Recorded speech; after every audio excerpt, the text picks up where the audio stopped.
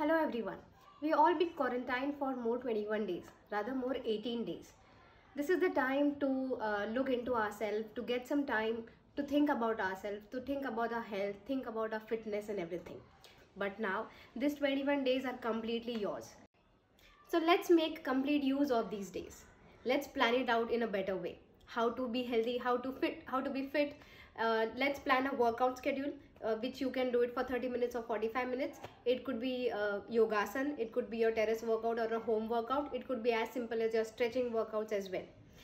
Now when we talk about eating healthy you can start your day with some concoction made up of ginger honey and amla or tulsi because we have been seeing so many videos about boosting up your immunity levels but let me tell you uh, this is the real time to boost up your immunity to fight for any infections or any viruses for further as well so after the concoction comes uh, the breakfast. Your breakfast has to be a combination of a protein and a carb together.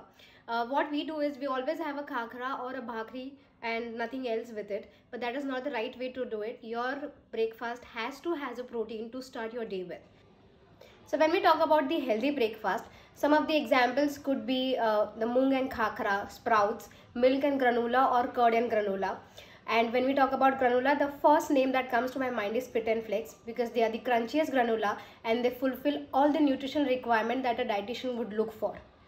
So now for lunch and dinner, try to include more of vegetables into your meal. Uh, try to have one protein in form of a dal or a pulses and try to cut down on simple sugars.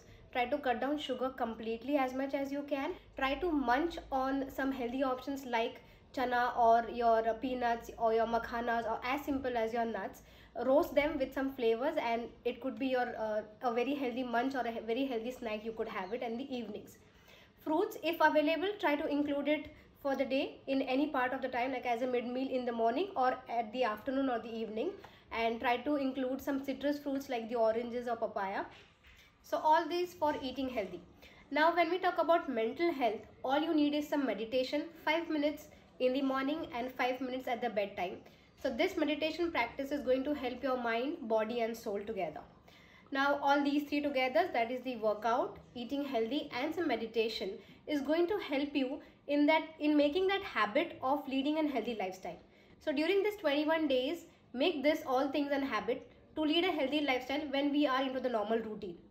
So let's accept this 21 days healthy habit challenge and in this 21 days try to change some of your normal routine to the healthy routine and let me know how you feel in this 21 days. What all changes did you feel in your body in this 21 days challenge?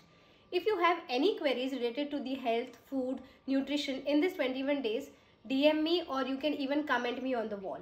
I am always ready to help you with it. Thank you so much